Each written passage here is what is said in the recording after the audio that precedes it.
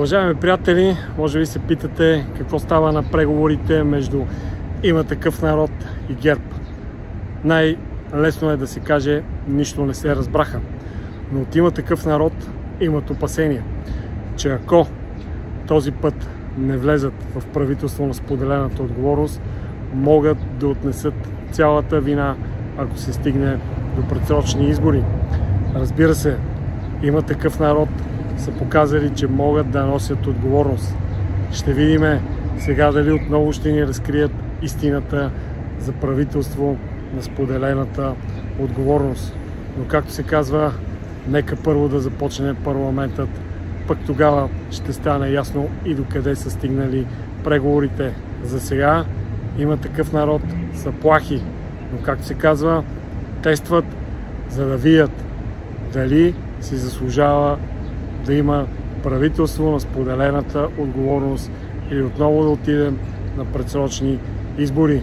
Този коментар е важен, затова нека да видим какво казаха днес по време на преговорите главните действащи лица.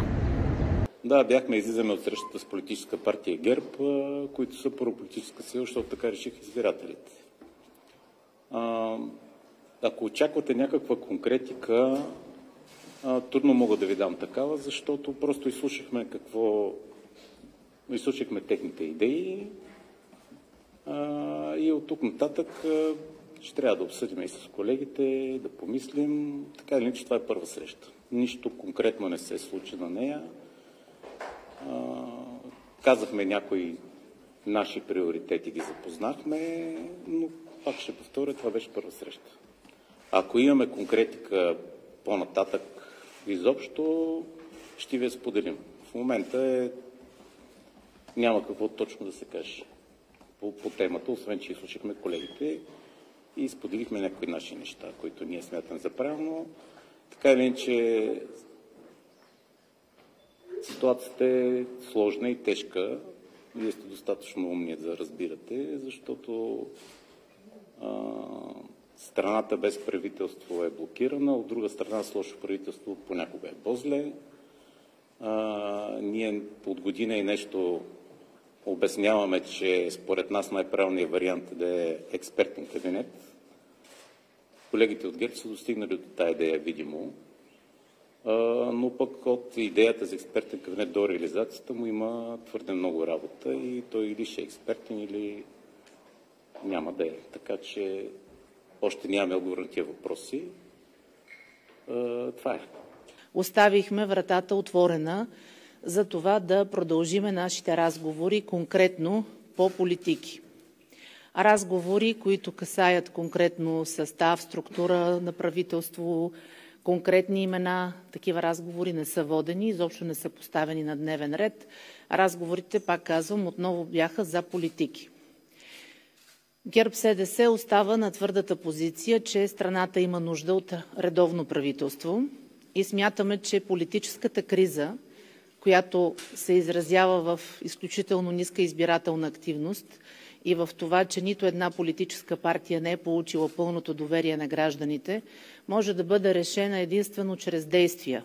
И за това сме и предложили формула, която се нарича правителство на споделената отговорност всякакви други решения, които се изразяват в бездействие, в това всеки да гледа единствено и само тясно партийния си интерес, да си прави криви сметки за това, кое би му било изгодно на него, в крайна сметка нямаме съмнение, че ще бъдат отречени от българските избиратели. Ние постъпваме за пореден път отговорно както към всички над половин милион български граждани, които са гласували за нас, така и към всички останали, които очакват държавата да бъде поставена отново на стабилна основа, да има работещо редовно правителство и да престанат процесите на безвремие и на ентропия в страната. Утре сутринта нашата парламентарна група ще се събере, за да излъчи и нашата номинация за председател на Народното събрание и след това ще видим как ще протече утрешния ден, за да решим и какви други последващи действия да предприемем.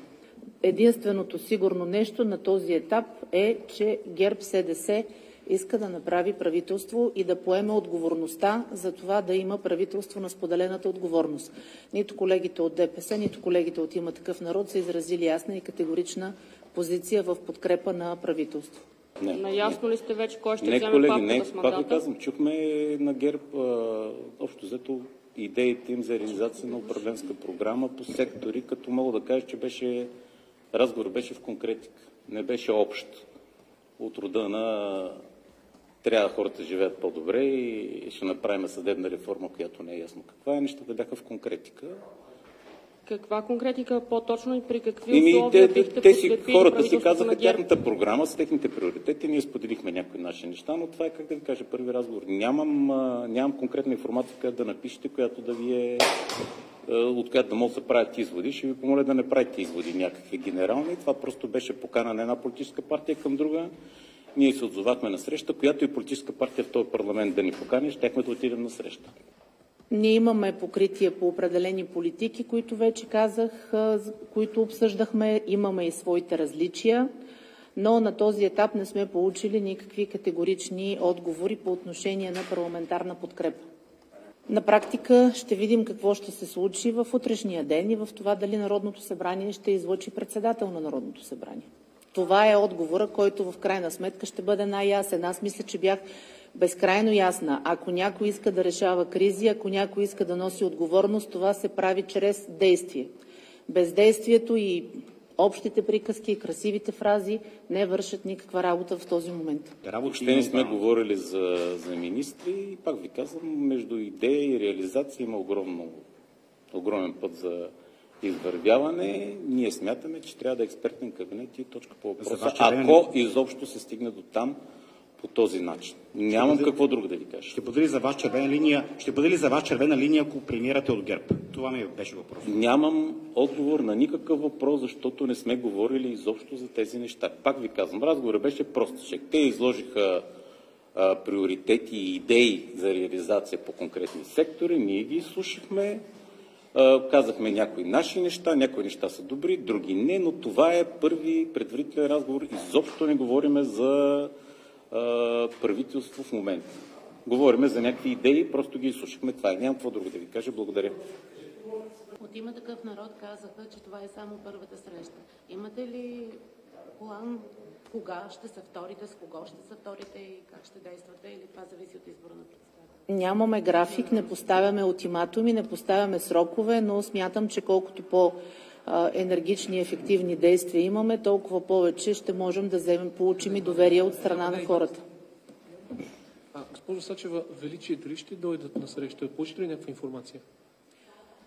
Получихме писмо от а, господин Марков, в което той изразява желание да се срещне с господин Борисов, но такава среща няма да се състои. Последен въпрос. Бихте ли позволили на други партии да имат представители в изпълнителната власт, т.е. министри да имат други партии, като ИТРА, например, ДПС, ако стане, разбира се, тази конфигурация? Нека първо да се споразумеем за това какви ще бъдат политиките и дали има такава основа за съвместно споразумение и след това ще говорим за личности. Благодаря ви. Хубав Конкретен ден. последен въпрос. Кой ще бъде вашия кандидат за председател на парламента? Нали казах ясно, утре сутринта ще излъчим нашата номинация. Благодаря.